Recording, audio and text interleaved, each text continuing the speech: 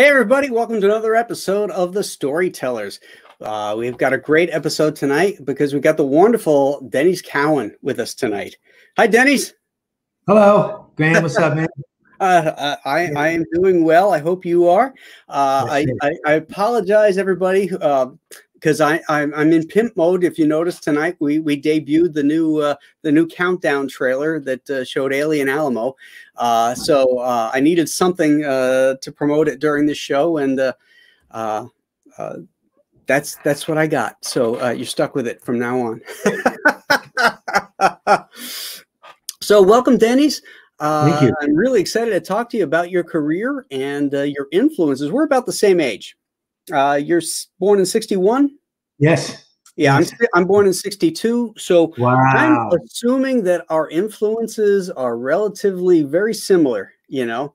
Probably grew I, up looking at the same kind of comics, same, you know, same genre. Yeah. Whole, you know, Yes. I, you know, when I saw on Wikipedia, I noticed uh, one of the things it said that uh, really influenced you was the Adventures of Superman, the George Reeves show. Yes. Is that is that true? It's one of my it's one of my earliest childhood memories of um of watching that show in black and white uh, when I was living in Queens mm-hmm. with my mom, and you know she just put on the TV, and that was one of the things that was on TV so I remember seeing that show, seeing George Reeves, seeing Noel Neill, and having vague memories. Like I thought that that was the coolest thing I'd ever seen. So what I would do, not knowing kind of what I was doing, is I would draw these boxes representing TV screens, not panels. And I would put the boxes next to one another and draw my own Superman stories like I saw on TV, except I just make up my own. And it was all stick figures and stuff. It wasn't you know, it was like a stick figure with a cape, triangle cape with an S on it. And I was really doing something. So, um, so, so it's sort of early storyboards, really, you know, because you yeah. had the TV screen and you're telling your story pictorially. Yeah. I had no idea what I was doing. I still probably do things much the same way, but um, your drawing skills are considerably better. hopefully, hopefully.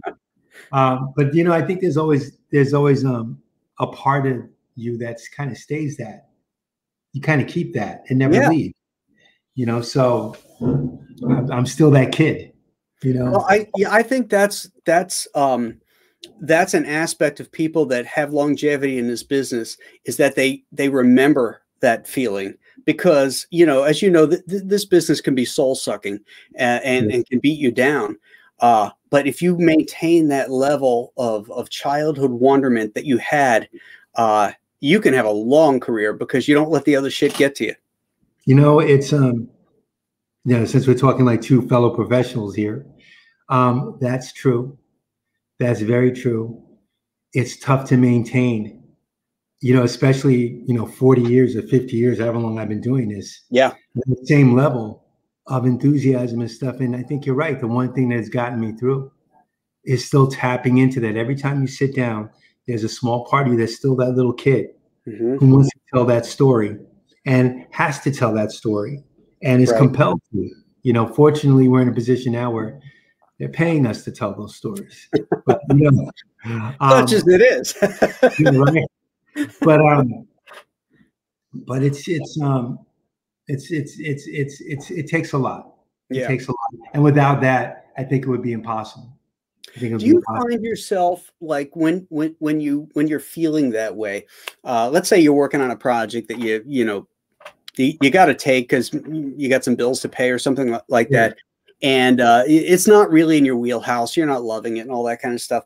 Do you find yourself like going back to those original inspirations, whether it be you know Joe Kubert, Jack Kirby, whatever it is, and just just like putting that script away, opening up their work, assuming it, and and and and getting re-energized because that's what I do. I'm always curious if other people do that.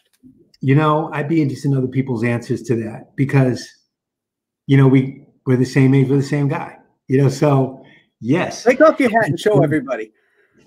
See, we're the same guy. the same. it's, it's like. Wait, hold on, hold on. Watch this. Wait, because I have these right here. I don't want to like not have my glasses on while I while I talk to you. Um, De- Denys just has a better tan than me. That's that's yeah, the only difference. There you go. um, you know, to, to to answer that question, I do the same thing, and it doesn't matter whether it's a job that is a pressing deadline or whatever. You find yourself going back to this. I find myself going back to the same sources of inspiration I've always had. You tend to add new ones little by little as you get older sure. because there's not a lot of room. And you know, if, if I'm letting you in, I, I got to kick somebody else out. So I, I tend to keep my influences. They're pretty much the same as they've always been, and I've drawn constant inspiration. And I'm always. And here's the other thing: when you when you have your influences like the Kuberts or whoever, you can put their work in front of you. I usually just have one piece. Mm-hmm. Like I don't flip through a lot of comic books and like look at pages. No, no, no. It's usually one panel or one picture of theirs that I'll have on my screen. But you can find so much information sometimes in that one panel or that one page or that one figure, or sometimes it's just a pencil drawing that your favorite artist did. But you draw so much life from just that that that can get you through pages. Absolutely. I'm, wrong? I'm right, right? Just pages of stuff. You're like, no, I'm trying. I'm still trying to get that. You know, I'm still trying to capture that. So yeah, I do. The, I, I do that, but it doesn't matter whether it's um whether it's a, a, job that I'm not particularly inspired by, or it's a job that I need. Mm-hmm. I think I need inspiration for all my jobs, so I think I do it. you know, I do it constantly. So, yeah. Hey, Dan Fraga, thanks for the uh, four ninety nine. Dan Fraga, that's my yeah. One of his first interviews with you uh, was with you. Dan. I love Dan. What's up, baby? Denys, thank you for everything except Detroit. Extra thanks for that.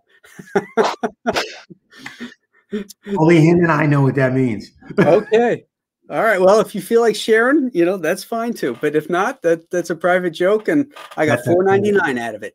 A private conversation with me and Dan. that's cool. That's very cool. so so who are some of those influences that like if you're going to um, re-energize you know who i, I just threw out kirby and and, and Kubert because i know those are a couple of mine um who who are some of yours kirby Kubert mm-hmm. um simonson walt simonson is a big influence on on my art mm-hmm. um, i'm looking i look at his stuff constantly even today i'm still like trying to achieve one tenth of what he's done and I can't. One of those guys that, as he's aged, has not lost a step. In fact, he's gotten better. Yeah, he hasn't lost a step. Nope. I'm constantly thinking, man, am I finally getting that age where I'm just starting to draw shit weird? But Walt is just a constant treasure. So, you know, his work is always in front of me. Um, you know, I love Neal, Neal's stuff. Um, my former boss. Mm-hmm. You know, I'll always, I'll always love Neal Adams' work. Right. Um, uh, Garcia Lopez. Oh yeah, it's a very big influence on on on me, and it has been since the early '80s with Jonah Hex and all that stuff that he used to do. Um, just a huge, huge influence on me. Uh, who else? I like Toth. You know, just to rattle off the American artists that I love. Gil Kane mm-hmm. is a big, big influence on me to this day you want to talk about artists you can take out if you stuck, if you can't think of anything to draw, if you don't know what to do that day and you are sucking eggs. Right. You don't have days like that, Grant, but I have days like that. I, I have days. You're like, I can't do anything. I've completely forgotten how to draw. Why did they even hire me? Um, you could pick up Gil Kane, put some of Gil's work in front of you. One page of Gil Kane will set you straight. Yeah. If you do nothing else but construct the rest of that page construct your figures on the rest of that page and do those buildings just like Gil Kane, you'll yeah. get through that page. Yeah. You will get to your page and you'll get to your next page. So Gil has always been a fallback. Plus, I had the pleasure of meeting Gil. Um, I think I met him a couple of times. Very interesting guy. But one time I met him, um, Dick Giordano introduced us at one of these Comic Cons where Dick was introducing me to everybody. Right. It was a very special time. And um, he introduced, he said, Hey, Denys, this is Gil Kane. Gil Kane is Denys Cowan. And Gil looked at me I said, Denys Cowan. I said, yeah. He goes, my boy. Called me my boy. So I was done, right? He goes, my boy, I have to tell you. And then he went to this whole long explanation about what he liked about my work. Wow. And my composition and my sense of dynamics. And when I'm, he went through this whole thing. I can't even remember what he said because I'm just looking at him with my mouth open, like, first of all, I can't believe Gil can't me my boy, and I'm not mad. And secondly, and, and like, in fact, I'm like, you can call me that anytime. And and he's complimenting my work, you know. So I was just like, I can't remember anything he said, but I looked at Dick Giordano afterwards. I said, Did that just happen? And he said, Yeah, that just happened. That was Gil Kane, you know, and he's he complimented your work. You should, you should, you should treasure that. And I'm like, oh my God. So amazing. You know, he knew how much I probably mumbled something to him like how much he's he influenced me. And, you know, if he knew, you know, how much he an effect he had on me, he would have just been maybe he would have taken a compliment back because I was just ripping him off. Right. So, um, I, I had a, I had a similar uh, uh, incident with uh, John Romita. Really? Yeah. When I first met him, I met him at a convention, and uh, uh, I was at the DC booth signing stuff, and then Chuck Dixon came up to me and said, "Hey, uh, Romita just sat down at his table." And I'm like, oh, really? Oh, geez. So I excused myself. I got up from the DC table and went over there and I stood in line with everybody else and I stuck my hand out when it was finally my turn. I introduced myself. And before I could get anything out, he goes, Graham Nolan, the artist? I said, yeah. And he says, I really loved your Batman, uh, your Batman Spider-Man book.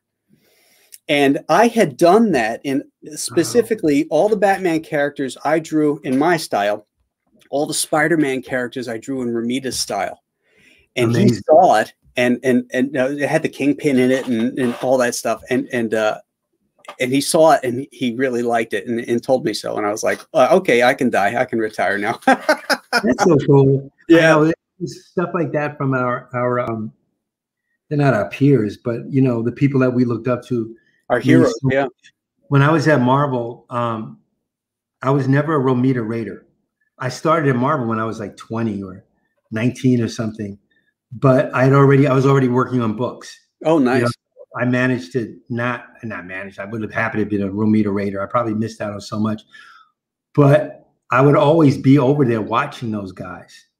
And I think I confused John. Like he didn't know whether are you a Romita Raider? Like why are you around? Why are you hanging around? why are you hanging around here? I would just look over like these dudes' desk and look at what John was doing. He was always looking over his shoulder at me, like, you know, because you're irritating. So look up at me like, you still here? And I'm just there looking. You know, I think I did that to Neal Adams too a bunch of times. I'll bet. He would turn around and look at me just standing there staring at his hands. Like, why are you still standing here? I'm hoping to learn something from the yeah, way you hold the yeah. pencil, maybe. Yes, anything. Give me some of that magic, man. Yeah. yeah. Yeah, it, yeah. No, I make, and, then, and then his son, and then Jr. comes along while I'm at Marvel, and he's taking over X Men. Right? It's like eighty something, oh. and I just remember being so jealous. like, not only is John Romita Jr. I mean, John Romita is great, but he has a son, and his son is great. Why couldn't I be like John? Why couldn't I have been John Romita Jr.'s kid? But, yeah and, and, and Romita Jr. is awesome dude. I, I had him on one of my shows a few weeks ago. He's uh, so actually, a couple months ago. He's so great. He I really is. He's a real cool guy. His art, he's one of those people that I look at and I study his work and I look yeah. at him trying to get some of what he has. Um, consummate storyteller, consummate artist. Yeah. His, his, storytelling is one of the best in the business. I mean, because he doesn't have to flower it up with panel arrangements or anything. He can do six panel grids and everything is in there. You, it, it, immerses you into the story, which is one of the tenets that I'm always preaching is, is that you have to have clarity, dynamics, and immersion. Uh, well, we were taught, all of us, the same way, right? Mm-hmm. Like you, you're old, old school, what they call it. I know um, JR was taught that way. Yeah. I know he was taught that way. That's the way I was taught. You mm-hmm. know, that Denny taught me and Carmine Infantino going over my stuff and cursing me out, and Joe Orlando go over my stuff and handing it back and making me do it over and over again. That's about as old school as you can get. And none of them ever said anything about let's do some odd shaped panels with, with figures sticking out of it and mm-hmm. do some bizarre stuff to draw attention to this one. But no, no, none, none of them ever said that. They always said, if you can't tell this story in a square panel and six in on square grid, if you can't tell the story like that, you're not a storyteller. Mm. Why are you here? What are you doing? like, yeah. You know? Meanwhile, Neal is like, ah, screw that. I can do whatever I want. right. But the thing with Neal, right, is that he knew all those rules. He knew right. those rules back and forth. He was doing Ben Casey and doing all that stuff while we weren't even thinking about doing any of that. So he'd already gone through all that, that those restrictions, right? Mm-hmm. So when he gets the comments, he's like, "World is mine," and it was, and it was. Yeah, you know, but yeah. but I he was not. It, I think it's freedom. You know, he had all this real estate to work in now, as opposed to the the, the newspaper strips. Right, instead of this, you know, confined thing. So, you know, it, it was different for him. But for us, you know, or at least for me, I, was taught a different way. Even though I worked Neal, Neal never said do crazy panel layouts like me. Right. He said, he said tell the story. Yeah. You know, then we'll worry about all that other stuff. Thank you, Eric McIntyre. Denys, great to see you here. I loved Milestone as a kid, specifically Icon and Rocket and Hardware. But I wanted to ask you, will you, we see any of the Milestone roster on the silver screen? That's a good question. Um, well, if you've read any of the headlines, um, you know, especially the ones that came out in the last year or so, you'll know that Michael B. Jordan and um, Reggie and I are doing Static Shock live action movie. So yeah, yeah. So that's being worked on now. Um, it's in development. There's a there's a writer attached to it, Randy McKinnon, who's writing a screenplay now. So we're we're doing it. As far as the other characters are concerned, I can't talk about all the stuff that we've been talking to people about. Nice. Um, but it's been to say there's been a lot of interest would be an understatement. You could say that there's Fantastic. been a lot in, in the things that we're doing and bringing these characters to, to, to live action and and and you know animation and all, all kinds of other stuff. So well, I mean, having a, a, star like Michael B. Jordan attached to a project is always, you know, something that's going to push it over the top. You know, they look for a director or a star right. because right. financing, you know, uh, that's how it works in Hollywood. Has money. yeah, yeah, that's you know, they hate risk. right. you know, there's so much money involved. You can't you can't blame people. You know, it's like sure. I, I get it, I get it. Mm-hmm. So but having him attached is has been um has been great. You know, he's um he's a big old movie star. So absolutely, you know, you can't you can't you can't go wrong with that. And he's very passionate about static and all things milestone. And you know, of course, you have Reggie Hudlin on it and myself. So it's in safe hands. It's in good hands. So let's talk a little bit about milestone and, and how that um how how that line got started. Milestone was started in 1992, and um, it was originally an idea of mine um, that I had uh, to to to bring together a group of creators to create a group of characters of color who had been unrepresented unrepresented in comics up to that point. There were no characters like Static or Icon or Hardware in comics. Mm-hmm. Um, that was a serious void to me. And at that point in the 90s, I'd already been doing comics for like 15 years or so. Mm-hmm. So I had a pretty good idea of what was out and what wasn't. I had worked on Black Panther. I worked on Luke Cage. That covered two of them. That was about it. Mm-hmm. You know, there was Blade and Mal, right? or somebody like that from the Teen Titans, right? Like there wasn't a whole lot of black characters yeah. going on. It's like yeah. Mal was the black. Black kid. Lightning. That was one. There was Black Lightning. There was Black Lightning done by my pal Trevor. So you know, there was there was that stuff going on, but there weren't a whole lot. Right. And, right. Um, what we wanted to do was change that. So I called Dwayne McDuffie, called Michael Davis. We got together with Derek Dingle, my childhood buddy, who was running Black Enterprise at the time, and um, um, Christopher Priest, Jim Owsley was there at the very beginning, helping us with all this stuff. Though he doesn't like to take any credit for anything. Um, he was he was there uh, a lot, And we just basically got together and decided, you know, I tried to convince them that this is a good idea. Let's get together and create these characters full of young enthusiasm. You know, we're 30 and 29. So we're going to really get this done. And um, um, I had to convince them to do it. They thought I was crazy. They really did. Dwayne's like, you're nuts. This will never work, but I'll sign up because I, I like you and you're crazy. They all said the same thing. Um, but Dwayne subtly changed my my intent my intent was to do well we're black so we'll do black comics with just black characters and see how that goes but dwayne's vision was a little bit more expansive than that and he was like if we're going to do this we have to represent people who are underrepresented in comics so whether that's gay other minority characters transgender characters whatever we're doing let's encompass all of that which was a scary thing to step into in 1992. Mm-hmm. Um, but it was also a, a, necessary move for us. So we just went and did it. And um, came out of the box with Static and Icon and Rocket and Blood Syndicate and Hardware and, you know, expand the line from there. We had a good five year run. Mm-hmm. Imploded. You know, a lot of things happened. Um, and Milestone you know, we, we couldn't publish comic books anymore. Uh, so now was, was Milestone a, under under Marvel? Milestone was not under anybody. Milestone's an independent company.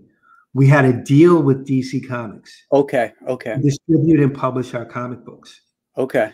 Um, but DC at no point ever owned Milestone or had a mistake in our company or whatever. What we did have though was a dependency on DC's finances and you know their financial network to make Milestone run because at the time they were our sole client, and it took everything we had to do all those books for for publication. So was DC financing the pay uh, the page rates and all that kind of stuff? Yeah, yeah, yeah. yeah. Okay, gotcha. yeah, yeah. That was that was they were paying us. They were paying us to do these books, um, while we retain uh, certain rights to the characters and to the art and to a lot of the stuff, they also had certain rights, but right. they paid us. That was part of the deal. They paid us to produce these books. Okay. That's what we did. Okay. Okay. It's like a packager in a way. Right. Right. Right. Okay. Yeah. That makes sense. Yeah. Like the old studios, like those old binder Eisner studios. Yeah. Eisner, Iger, and uh, yes. yeah. yeah. It's kind of like that. Lev Gleason and yes, all that stuff that you read about in Steranko's history of comics and went, yeah, you can only be one of those guys. Going to work for those guys. so, what do you think about? Uh, uh, because you guys broke ground uh, with Milestone as far as making characters. You, well, you did it the right way. You created brand new characters to to fill voids of underrepresented people. Uh, right. What do you think about when Marvel and DC uh, uh, race or gender swap or uh, um, sexual identity swap characters that are pre-existing characters, uh, basically just pandering? You know, it's interesting. It's interesting because I know and because I've been personally involved with the creation of lots of new characters, mm-hmm. you know, I know that nothing beats creating new characters um, out of whole cloth if you can, out of scratch if you can. Um, you know, we got tremendous value out of doing that. It doesn't mean that our characters weren't based on archetypes. Oh, sure. Yeah. You know, Static is based on like a Spider Man archetype you know, hardware is like kind of an Iron Man kind of archetype, you know, mm-hmm. and Rocket, you know, it's like Superman and Robin, mm-hmm. you know, like those are the archetypes. Um, as far as taking someone like Superman and making him black or making Batman black or something like that. Right. I can see the value in it, you know, Graham, for for for people it just exposes a different part of the characters to different people. Okay, that that's cool. I'm not so much in favor of doing it um, because I don't think there's a. For me personally, there isn't a need to. You know, I can just create new characters. For other people who haven't been exposed to some of these characters before. Not everyone knows Superman. Not everyone knows Batman. We just think they do. Mm-hmm. And a lot of people don't even read comic books now. We just think they do, but they do not. A lot of people just say, I'll wait for the movie. I'll go see that Avengers movie. I read that Avengers comic book. I'll see that Captain America movie. I'm not looking at the com- that comic book. So anything to get them to go, wait, hold on, something's going on in comics that I should check out. That's not a bad thing at all. Mm-hmm. That's a good thing. You know, if if there's a black Batman and that makes me want to go out and buy Batman now, fine, fine, go out and buy Batman. You know, and then check out all the other Batman titles that are there, and check out all the Superman because there's a whole world waiting for you. It's not just this black Batman or this black Superman character. Mm-hmm, mm-hmm. Personally, I don't need to do it. I see the value in it. Mm-hmm. Other people doing it just for that reason alone. Mm-hmm. Um, as far as the pandering aspect of it and, and all that kind of stuff, who are you pandering to? You know, I don't know what that what that what that means. Um, I don't, uh, you know, I don't I don't know what that audience is being. Paid. I don't know what that is. Uh, but I mean, that's that's my thoughts. I always much rather have original characters. Right. You know. Now that being said, is Into the Spider Verse, which was a brilliant effing movie mm-hmm. with a brilliant Miles Morales kind of character. Right. That was inspired by Static. Oh. Who was inspired by Spider Man? Yes. Yes. Interesting. Is that is that you know is that pandering? You know is that you know, that's a black Spider-Man. Is that no? Mm-hmm. Great character all on his own. They made it unique, just as great. Does not take away from Spider-Man, mm-hmm. Peter Parker, the man. You know, right. it's in addition to. So I don't think people should get too twisted up coming from experiencing this stuff mm-hmm. On what's going on. You're right. On, on what's happening with Batman lately. I would say relax oh, the Batman's still here. He ain't going nowhere. Trust me, Warner Bros. ain't letting him go nowhere. Right. And he ain't letting Superman go nowhere. That's going to be Henry Cavill, or whoever it's going to be. If they have an additional Michael Jordan as Superman, what are they going to end? You still have both. You know, it's it's it's, it's all good.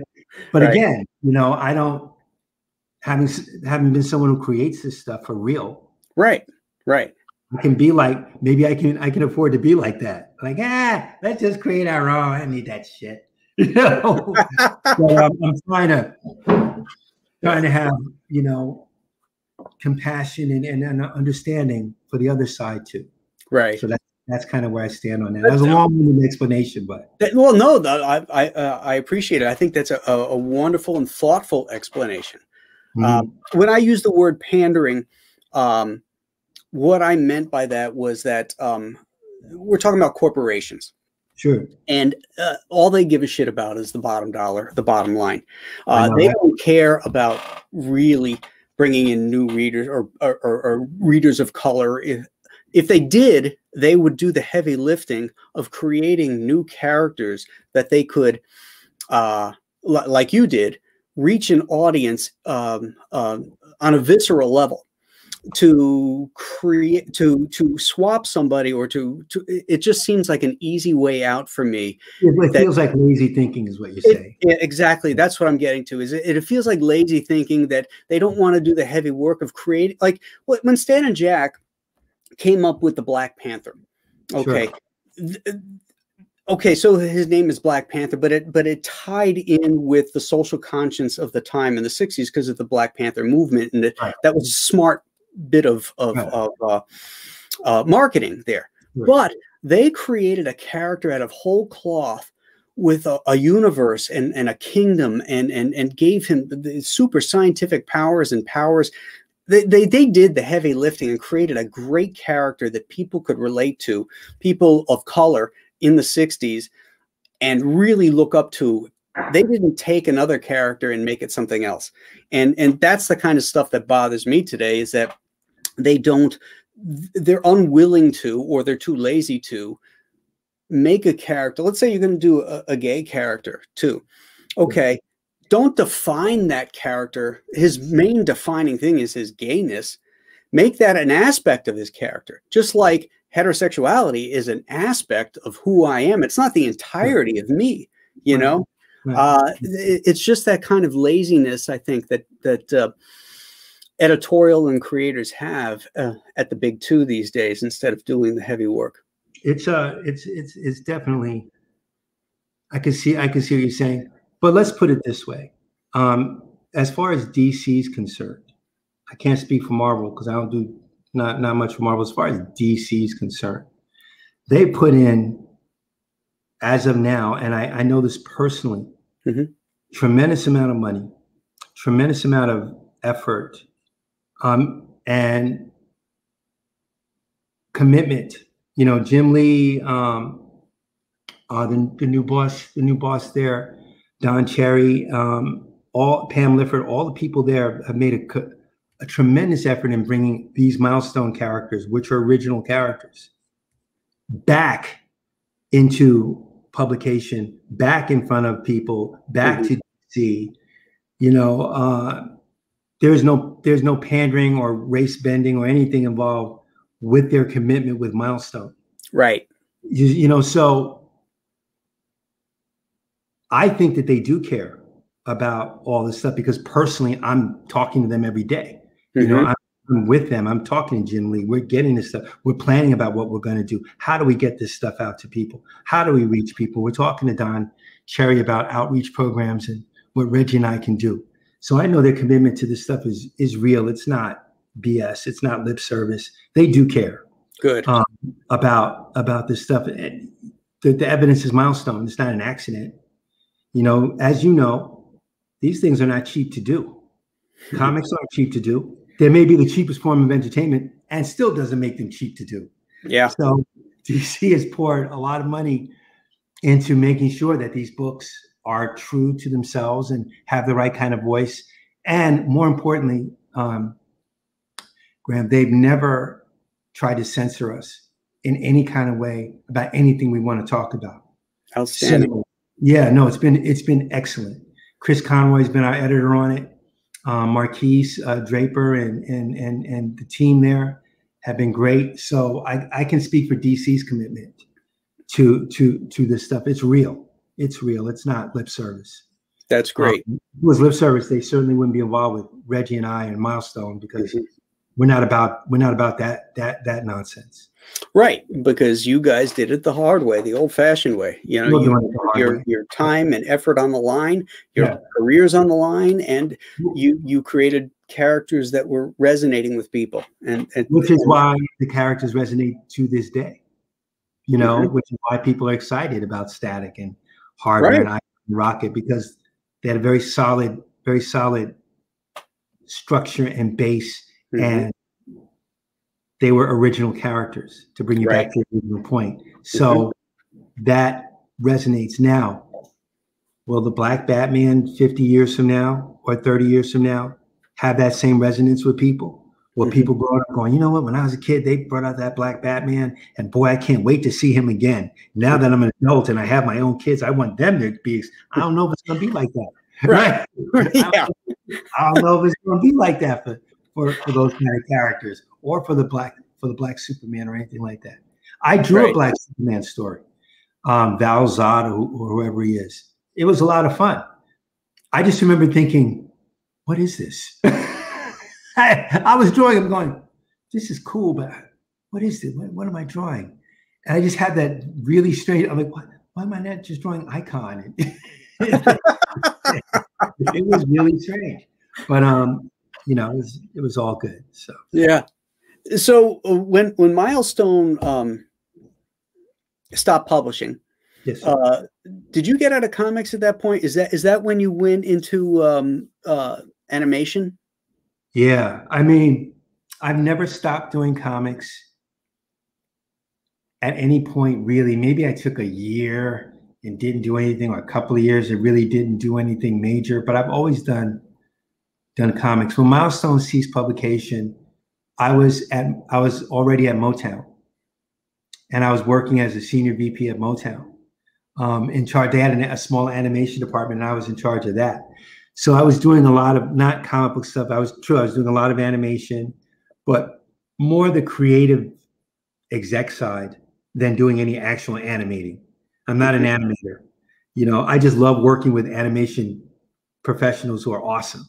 Right. Doing shows. You know, how, so, how, how, did you land that job? I mean, uh, was that something you applied for? Or? Yeah, I was asked. I was asked. Um, um, Clarence Avant. Actually, Jheryl Busby was running Motown at the time. He had hired Michael Davis. And Michael asked me to come on over to Motown and work with him in Motown. And I'm like, oh man, I, I don't know. So he says, no, no, no, come and meet, come, come work with us at Motown. We'll see. So I flew to LA, met with Jheryl. They offered me the job. I flew back home. I'm going to Motown. I'm going to work in Motown, California. Uh, we'll move everyone out. Went went back to LA. When I got back to LA, they had fired Jheryl. Oh, and there was a new boss, Clarence Avant, who fortunately liked Michael and liked me and kept me on. You know, so um, I ended up working for Motown for like a year or two years or something like that. Um, just developing shows with them and hanging out with all the Motown people. Met Stevie Wonder, met Mary Wilson, really did all that stuff. Wow. All the parties, did really, you know, it was Motown. It was great. Berry Gordy, did you meet Berry Gordy? I met Berry Gordy. Yes, I did meet Berry Gordy. That was one of the first meetings I had was with Berry Gordy. I was at Washington D.C. We were going. I don't know why why we were there. I didn't meet Obama or anything. I was just at Washington D.C. having to do some business, and I met Gerald. I met I met um I met I met him there. So that's really yeah, cool. Yeah, yeah, that's really cool. So so we did you live there for that uh, that time uh, when you were at Motown? And you, I lived in L.A. because Motown was in L.A. at the time. So okay, yeah, I was okay. living in LA. That's when and I then, moved in '96. But you were at BET too. I was at BET after that. Okay. Um, yeah, there was about like a maybe a year between uh, Motown and that. I think I worked for Nickelodeon. Oh. For a brief period of time. I did a bunch of stuff. Um, by the time BET rolled around, that was after Static. That was after all that stuff. So from from Motown, I went to from Motown. I went to Nickelodeon, and was doing storyboard revisions and stuff like that. So I went from an executive job to an art job, and also doing comic books, more comic books and, and stuff. And while at Nickelodeon, I got the call from Warner Brothers about how they were going to pitch a show called Static and wanted to know if I wanted to be involved in that. So I went and met with Alan Burnett, oh. who um, was the genius producer um, behind so many, you know, Batman and all kinds of stuff over at Warner Brothers. And he told me that he loved Static and that he had pitched Kids WB with one line and that they were interested and wanted to meet with me and him. And I said, Well, what was the line? He said, I just told him, I told executives at Kids WB, I want to do a show. It's called Static. It's Chris Rock at 14 with superpowers. Real yunt. Right? Right? Right? Wow. You saw the whole thing. You saw the whole thing. And they saw the whole thing. You talk about so, an elevator pitch. Right? Oh my God, line. So we went and um, you know, I went and met with the Warner Brothers executives and they asked me about Static, and I told them who the character was and what he did, and you know who he, what he was about, and how he was a character. It was about action, not violence. You know um, how his fist never really solved the problem. Like just all the things that that went into Virgil's personality. He was always the light in the room, never darkness. Um, his his presence was effervescent, not never like just his parents, like the whole thing. And at the end of that pitch, they wanted to do the show. So suddenly I wasn't working at Nickelodeon anymore. Now I'm on Static Shock. And and you know, two years or three years of that, however long we we managed to make it work. So that's, that's amazing. That's yeah. amazing. So I, I assume you guys, you as creators, you the the show had royalties for you, right? Because you owned it. I did not own Static Shock the show. Warner Brothers owned Static Shock the show. I, you know, had a percentage of the character. As Milestone has a percentage of all the characters. So we got compensated, you know, for for all the uses of Static, and sure. still do. You know, um, every time they use it, they they got to cut a check. So right. it's always good. It's always good.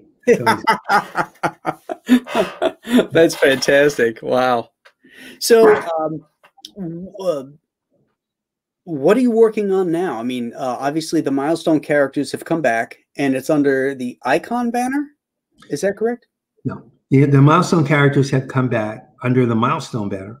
Okay. Um, uh, uh, Reggie and I and Derek Dingle um, and I are bringing these characters. Really, you know, Re- Derek handles a lot of the business stuff, but Reggie and I really the creative forces and producers behind these books. Um, it's under Milestone. We're doing them with DC. As I mentioned before, Chris Conroy is our editor. Yeah. It's hardware, static, um, Icon and Rocket, and a third title, which people may be able to guess, but I can't say what it is right now. But it's one that people have been asking for. Um, we're doing these books now. I'm drawing hardware with Bill Sienkiewicz. Nice. Bill, yeah, Bill and I are, are working on hardware. Um, you guys are an awesome team together. Oh, man, you're so so nice. Uh, Bill, Bill's incredible. Well, like, so are you. Uh, but, but uh, you know the the two of you marrying your styles together, they're so simpatico. Uh, like Bill has inked me uh, on Detective Comics uh, years ago, and it it it looks more like Bill than me. Uh, whereas when Bill inks you, it still looks like you because you, when your your pencils are very similar to how how Bill inks. You know, I think that mm. that mm. simpatico is fantastic. Yeah, well, um, it's also you know Bill's been inking. Bill's been working with me since 1980 something. So, you know, we've been. I remember, you know how I met Bill Sienkiewicz? I'll tell you the story real quick. Here's how I met Bill Sienkiewicz. I'm up at DC already, mm-hmm. right? So I'm, I'm working. I was Rich Buckler's assistant. And oh, wow. so would go up to, yeah, I work for Rich. So I'd always go, he'd always bring me up to DC. We had to deliver pages, whatever. So I'm just kind of hanging out. And um, I'm in the front lobby. I think this is when they had Superman sitting there in the front lobby. Oh, yeah, and I remember that. That? Reading the paper. Right? So I'm sitting on the couch.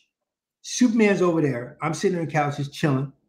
And I see this guy come in and he's wearing a sports jacket. I'll never forget it's like a plaid sports jacket or something and slacks and a big portfolio. It's white dude. He walks in and he's got all this energy and stuff, and he has to see somebody, and then he gets ushered. I'm just sitting in the front, so I could have gone in the back, in the front, whatever I wanted. But I just watched this guy try to get in, and oh, he had an appointment with he had an appointment with I think it was Dick Giordano or somebody or whoever. So he went in, and I remember thinking, wow, this dude's in a suit with his portfolio. Like, who, what kind of job does he think he's going to try to get? He's in comics, baby. We don't wear no so um, later on, I'm working for Neal Adams, and from like this, from Rich, I probably went right to Neal. and I'm working for Neal. and I look up, and that guy is walking in Neal's studio. That same guy, and he walks past me. I think he's wearing the same jacket because it must be a professional visit. And and he opens his portfolio and he shows Neal his work. It was Bill, and Neal is looking at Bill's pages, and he's flipping through the portfolio. We're all his little Neal gremlins are in the front room working for Neal. I'm at a desk trying desperately to color comps or whatever I was trying to do, messing everything up. Neal says, Hey, everybody, come over here and look at this. So he makes us all get up to come over and look at Bill Sienkiewicz's portfolio. He's including Mike Nasser, because Mike Nasser was there. Okay. He's flipping through the pages. He says, See, Bill Sienkiewicz is doing me, but he's doing it right. And he just looked at all of us little copycats who wasn't doing it right. and I kept flipping. He says, "Yeah, this is this is really good. This is really good." So he closes the book at this. Bill doesn't say anything. He said, I think he was like a little embarrassed. Neal has smoked all of us, all of us, like just we ain't nothing. So we, you know, I go sit back at my little desk and I'm just looking at this wonderful artist's portfolio, which is now closed, and Neal's walking it over to his desk. Neal picks up the phone. And I don't know whether he talked to the secretary or whatever, but he says, get Jim Shooter on the phone. He gets Jim Shooter on the phone and says, Hey, Jim, this is Neal. I'm sending over someone that you're going to want to see. Yeah, his name is, wait, what's your name? Bill Sienkiewicz. Sienkiewicz. You need to look at his portfolio because he's really good. Yeah, I'm sending him over right now. Damn. No shit. No shit. Bill walked over. I think Bill walked right over to Marvel after that. Next thing I know, he's doing Moon Knight. Wow. he was doing Moon Knight. And I think I, I, I was over at Marvel dinking around trying to do White Tiger backups or whatever they were having me do. And I think I got a Hulk pinup or something. Like he was already doing major stuff, and I'm like dinking along. But I've known I've known Bill almost from the time he showed up at DC, like the first time. And you know, we ended up hitting it off. Like the next time I saw him, I probably ended up talking to him, and we just became very fast friends from the minute we saw each other. And um, not not I'm talking a lot, but if you go on Twitter, you'll see on my on my on my feed, Jim Shooter put up an announcement. It was so nice him. I didn't realize he had done it. In 1980 or 1981, he put up an announcement. Denys Cowan, 20 years old. We've just signed Denys to an exclusive contract at Marvel. Denys is a martial arts expert and blah, blah, blah. Him, along with his friend, 24 year old Bill Sienkiewicz, are sure to set the world, the art world on fire someday. no pressure. Right? 40 years later, here we are, still here. I don't set know. I didn't fire. but Bill did. Bill set the world on fire. Oh, please. You're oh. you're you you're too modest. You know. You yeah. Know. Uh, you know, you guys in the chat room, you know, this this guy's a modest guy. He he is he's up there uh, with with the tops, you know. But uh, you know, when we're talking about your influences too. One guy that didn't get mentioned, which I see in your work, is Toppi because I didn't get a chance to talk about my European influences because I talked ah. so much. Um, Toppi is a huge influence on me, like he is on Walt Simonson, like mm-hmm. he is on, you know, if you look at Walt's stuff, you're looking at a lot of Toppi. Mm-hmm. You look at, if you look at Bill's stuff, you're looking at Toppi. Mm-hmm. You know, if you're looking at my stuff, you're definitely looking at, at Toppi. So many artists are, are influenced by him. Jorge Zaffino was influenced by him. His son is influenced by him. Um, just, just, just a wonderful artist. Dino Battaglia is another Italian Italian artist whose work I just adore. Mm-hmm. Like, cannot get enough of it. Paul Gillon is a French mm-hmm. artist. Yep, yep. Was a master, a ma- just as good as any of the American artists I'm talking about, except they were influenced by American artists. So, you know, we, they, they didn't influence, they didn't make this up, we did. Mm-hmm. You know, they came over to us and got it from us. So uh, uh, Toppi, Battaglia, Gillon, there's so many others. I mentioned Breccia. Breccia is another one who's just, or mm-hmm. Breccia, how, how you pronounce his name. Yeah. Um, huge influence on me. Huge influence on me. Um, I've had the fortune of meeting some of these people and and um, had had transformative experiences. You know, so oh, so, fantastic. Yeah, yeah. So so yeah, those those European European artists are are huge, huge Italian artists.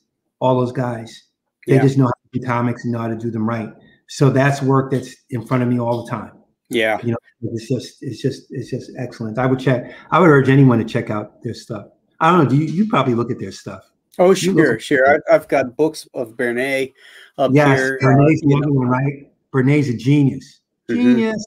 Mm-hmm. Yeah. Genius. It, it, it's almost like he takes the brush, dips it in ink, and just draws.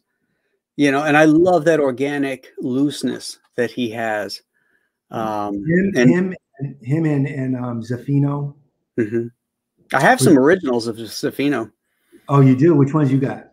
I've got uh, I got one from the Punisher uh, graphic novel that he did, and I got, I got one from Winterworld.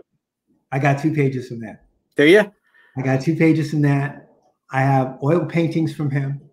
I have seven block character oh. sketches from him. Yeah, seven block. And you know how I got them? Chuck Dixon. No. No. No, I got them from um, Jorge Zaffino while he was alive. Ah. He traded artwork with me. Nice. It was incredible we, we just hung out. He didn't speak much English. I didn't speak any Spanish. But when we met, we connected. So I invited him over to my house. uh, my apartment in, in Manhattan at the time when he was visiting New York. He came mm-hmm. over with his wife and his translator, and um, Ariel, I think his translator's name was. So they came over the house. We had wine, food, cheese, drink, and then the portfolios came out. Nice. So he brings out his portfolio. He opens it up, and he says, "Pick whatever you like." I said, "What?" He said, "Pick," because man, we have been bonding seriously. He said, "Pick whatever you like." I'm like, "Oh my god!" So I picked two Punisher pages. I picked seven blocks. I picked an oil painting. I picked a bunch of stuff. I had like six or seven pieces. I'm like, "Are these okay? You sure?" He's like, "Yeah." He goes, "Under one condition." I said, "What?" He goes, "I get to choose from your work."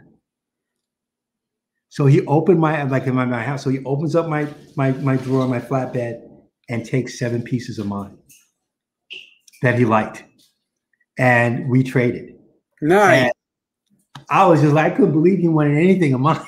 I'm like, I'm getting it. Well, first of all, you taking stuff from me that I copied off of you, but be feel feel feel free to take it. Yeah. Um. Uh, that was like a magical. And I didn't get it from Chuck Dixon. I got it from Jorge Zaffino himself. That's very cool. I just treasure them to this day. Yeah. Are, are, are, his um he he did like uh his pages were on like bond paper. It's like yeah. the shittiest paper you could yeah. possibly get. Yeah. Uh, I, I, was just fascinated by that. You know, it's like yeah. all beat up and then mm. puts a ton of white out and razor scrapes on it and everything. And he did everything. He was so great. Yeah. Just painting on top of black and pulling out those highlights. And yes. All that stuff that Toph did, except he took it. He was kind of like Toph combined with Kubert with some other stuff in it that you ain't never seen. And he was just a perfect artist for us when he came out. Yeah. Yeah. All that he, really stuff, he was just like, I know I wanted to draw like that. So yeah, yeah. It was, it was transformative. Yeah, I, I knew I could never draw like that. So yeah, right. I was very happy to to to live vicariously through the artwork that I could see. Yeah. You know, I met his son. About, I'm sorry. I was just going to say, just, there's something about holding the artwork and and feeling it and feeling the uh, the raised ink or the uh, uh, the the pen uh, dipping into the paper and, and that kind of stuff. I just I love that that tactile aspect of, of visceral feeling when you have original art from someone, especially someone you love. Mm-hmm, mm-hmm. You hold a piece of them, you know, because they physically put this mark on this paper. They physically did right. that ink they yeah. physically did it. Their essence is in that page. Yeah. And, and everything so, you see is a decision. Yes. Because yes. it's a white piece of paper like everybody else has. It's blank. Everything that went on there was a conscious decision. Yes. Yes. And that's that's yes, that's, that's magic. magical. Oh, yes. So no, I I I I, I totally get it. I totally get it. oh man, he, you know, I remember when we were at uh, in Dallas together at that uh, North Dallas uh, Comic Con, uh, mm-hmm. we were taking that uh, uh, little bus out to to have um, barbecue, Texas barbecue. Yeah, yeah we st- we started talking about Jim Aparo, and the two of us were going on like a couple of old hens about how you know just how great Jim Aparo was and and, and stuff. Um, and I just did a show last week on Jim Aparo. Really? Yeah, yeah. I right. just I, I, needed to to cover his work and stuff, and so uh, having you next, it, it made me made, made me think of that that uh, that incident. Jim Aparo, I have to say, Jim Aparo is probably a bigger influence on me than Neal, even though Neal was huge for me. Jim Aparo, Jim Aparo's comics taught you how to do comics, right? Yeah, yeah. Taught you how to do comics. He didn't do a lot of fancy panel layout, though he did some mm-hmm. triangle and stuff like that. Right. But most of this stuff took place within the panel. But mm-hmm. the way he drew Batman and the way he drew physical action and the way his characters were planted, mm-hmm. the fact that he pencil inked lettered everything, one yeah. page a day, page a day. Just the balance, just the way, and you could see his work evolve. Mm-hmm. Being that advertising kind of scratchy, then all of a sudden he discovers Neal Adams and Milt Caniff at the same time. And just right. kind of binds that together. Exactly, you know? exactly. He right? married the two right two great that styles with that advertising art, with that newspaper, just the things he did. He drew that the way it's funny too, because he drew nothing like he looked. No, my no. my appearance. I thought Jim Aparo was going to be this tall, thin white dude, you know, black hair, you know, wiry, like thin suit. I knew, I just knew that's what Jim Aparo looked like, right? Because that's what he drew.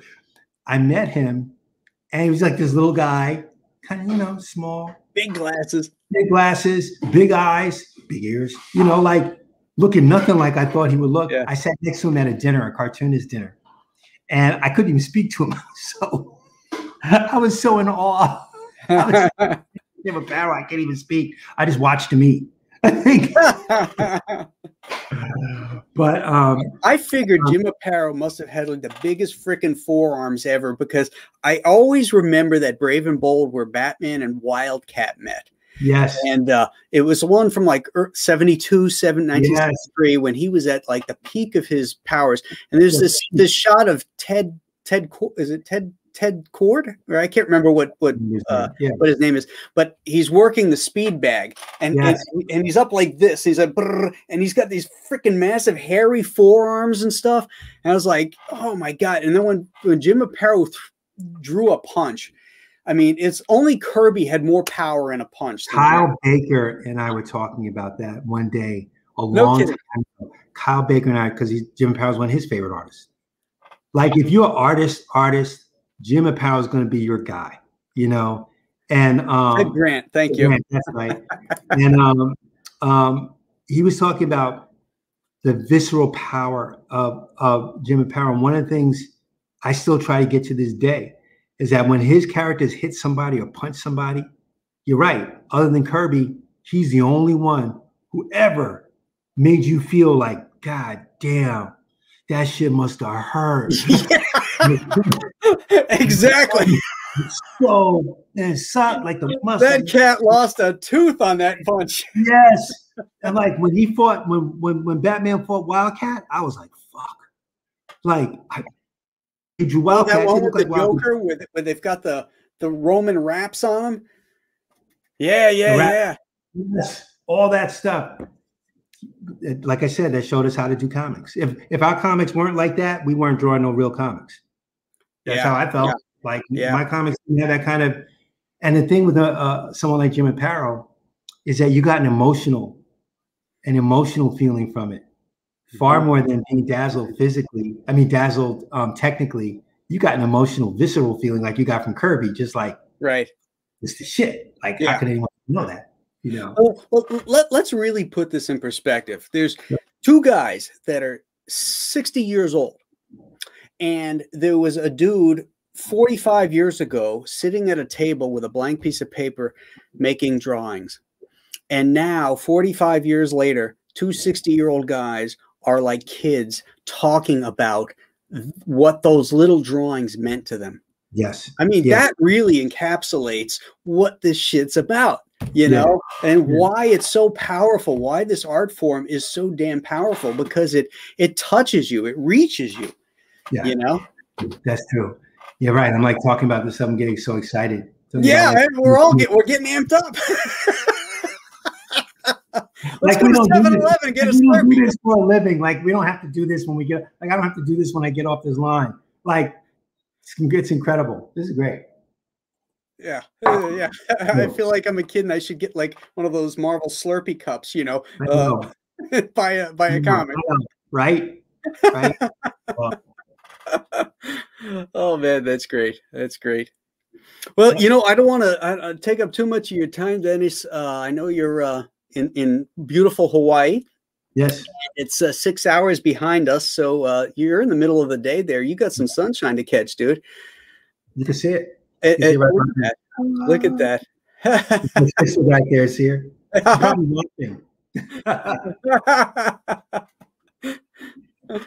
That's awesome. Yes. So uh, I want to uh, thank you so much for coming on the show. And uh, thank and, you for inviting me. Uh, it was just great. It was really wonderful.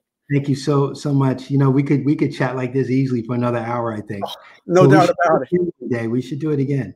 Uh, I, I, would love that. I, you know, I'd love to have you back. Why not? Yeah. Let's, let's, do part two. Why not? Why not? Like really, like really put everyone like they'll be like, oh my god, this guy again. Jeez. I don't think so because I'm looking at the chats and Frag is loving it. Uh, a lot of people are, are really enjoying the conversation. Good, Uh, so uh, I, I think we've uh, we, we we've touched some souls, and that's a good thing, right? That's a great thing. Everybody in the chat, thank you again for for uh, uh, stopping by uh, and, and and listening to uh, us uh, banter and chatter on uh, about a, a passion of ours, uh, comics, and a, a passion of yours, I'm sure. Uh, Yeah. Next week, I, I, I think I don't have a guest lined up, so I think I'm going to be discussing the career of Noel Sickles. Oh, So, um, Mm. yeah. So, see, Denys will be in. He'll he'll be he'll Yeah, be watching that. Genius, genius artist. Jeez. I, I like to showcase guys that a lot of people don't know. I know you did a Mort Meskin show, right? I did. I did Mort Meskin. Yeah. Amazing. Yeah. Amazing. He, he's the artist everybody should know and nobody knows. And Right. uh, I, I really, really enjoyed that show. Uh, and and I, I think um, uh, um, uh, I've already forgot his name.